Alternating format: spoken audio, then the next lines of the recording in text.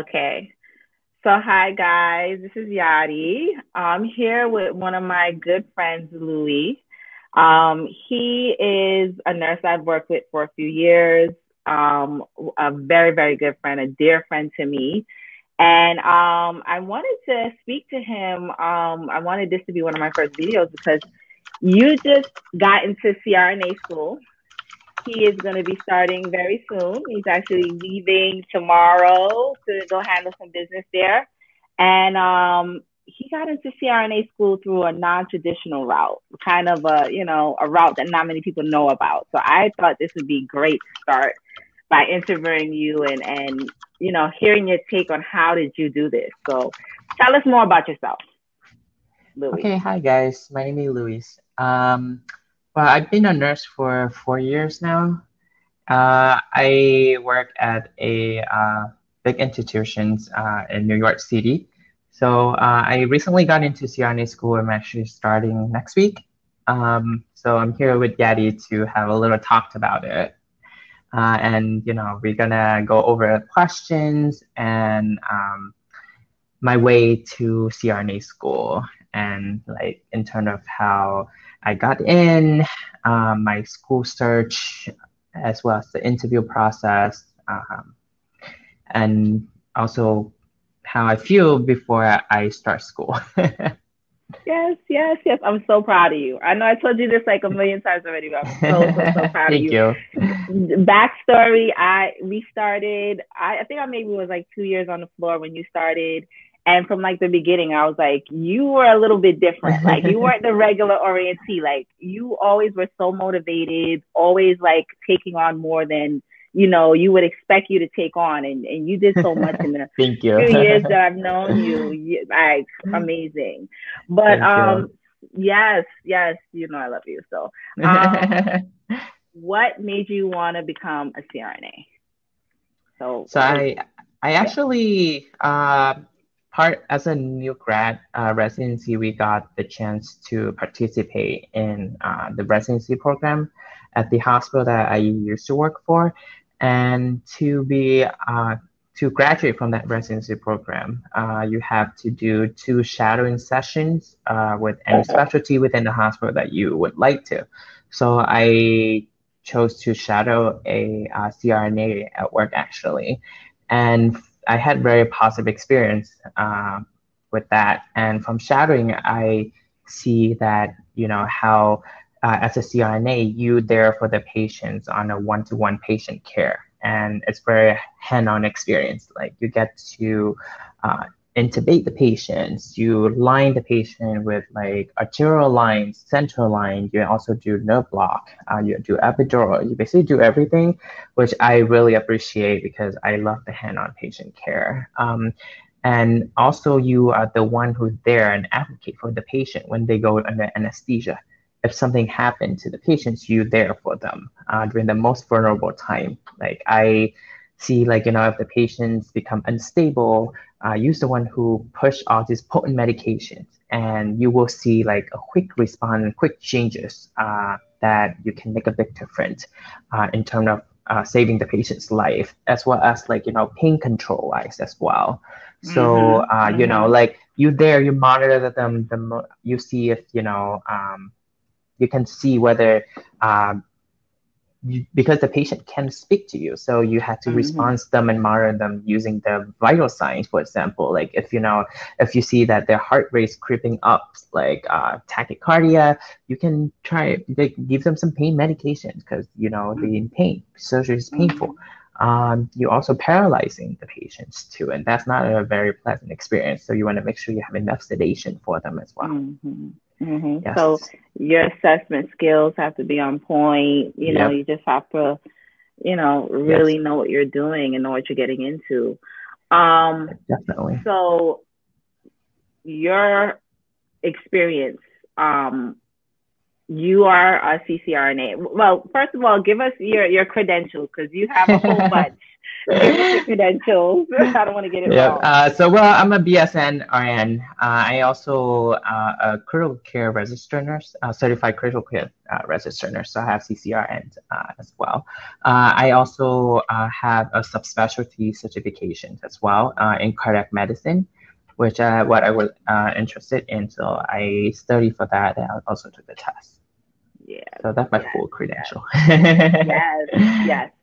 So you um, got certified um, as a CCRN through your um, ICU experience in the PACU, not on a traditional ICU floor. You went through the PACU route. So, what was your daily duties on the PACU? What the type of ICU patients did you see? How often did you see ICU patients? Can you go into that? Uh, yes. So I the PACU I work at is not a regular like traditional what like a regular PACU would be. Um, at my institutions, the main PACU that I work for, well, I used to work for, uh, they actually um, we intake um, overflow ICU patients. So somebody you walk in, you can have a MICU patient, you have a, a surgical ICU patient, uh, you also can walk in with a neuro ICU patient as well. Wow. And um, like any anything like you know that if the ICU does not have bed or does not have the staffing for, they come to us. Uh, so I did get a wide range of experience uh, with ICU patients because you have to be trained for everything. But at some point, we also took care of uh, pediatrics ICU patient as well. So, wow, wow, uh, so we wow. were trained for all of the uh, you know, we were trained for all the patient populations. Uh, we also the first to float to the ICU if they also need staff. And our PACU uh, used to be also took care of CVICU patient as well. Wow. But we don't see them uh, uh, anymore. But um, mainly MICU and surgical. MICU and surgical. And you yeah. said pediatric patients. Like, uh, what was the youngest patient you would see like in in the PACU? Uh, like we usually receive the uh, I would say like the like around like 19 years old. Okay. Uh, I mean, the youngest okay. I saw was like 14 who come in okay. for like scoliosis uh, surgery, mm-hmm. uh, surgery, and they needed like chest tubes and all the other stuff. Okay. Yes, but okay. Uh, you know, we we see it in the range of like adolescents, but not really like you know uh, infants or yeah, yeah, you know yeah. an actual child because that they very specialized. Yes, definitely, definitely. But uh, that's that's amazing. Like even though you know I've worked there with you, like I didn't I didn't even really know all of that. yeah. Floor, so. But, yeah, yeah, no, like the which is very um an interesting experience that I had because well at first to give you a little background, I did apply to a surgical ICU and I got the offer. And then um, while waiting to transfer internally, I um, the the surgical ICU had to go through uh, a whole change and the redesign of the unit and stuff. So they decided to uh, hold my transfer. But then I um, the the opportunity actually uh, came up with a PACU, and I actually spoke with the PACU manager, and she's like, "Oh yes, like you know, if you, uh, we do get ICU patient here. If you need the ICU experience, uh, and you vol- you can volunteer and you know be proactive uh, by volunteer taking a challenging assignment, like you know, uh, which we what I used to do, like when working in the PACU, I um, always volunteer to take." On ICU patients, and that's how I learn. And with our ICU patients, we they fully vented on uh, multi vasoactive drugs, like you know you can see levo, neo, vaso, dobutamine, dopamine, and pretty much a lot of medications and sedation too, like propofol, Precedex, fentanyl like you will see wide range and occasionally you do see like you know patient with devices like CRT, ECMO, those more during the um, the COVID time. So like those uh, COVID like non-COVID patients would like bore in the PACU and that way you see them. And uh, yeah, and also during COVID, I was in the COVID ICU for a few months as well. Yeah, yeah. So and, you see a was... full range like you get to do patients like you know like it's it's very I don't know. I got I managed like three ICU patients, and most there was there, um, and they fully uh, like vented on multi drips. Yeah, mm. and also like you know you also uh, got trained for devices like CRT, ECMO, and all these devices to keep your wow. patient alive. Wow. Yeah. You you definitely did a lot, and and you also have leadership skills because I remember speaking to you. Uh, your last few weeks there, you were charged. uh, yeah.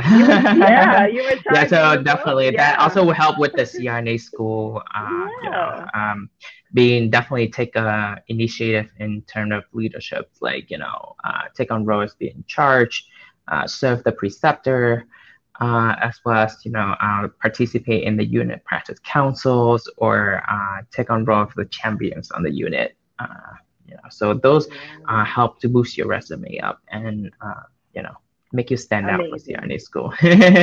amazing, amazing.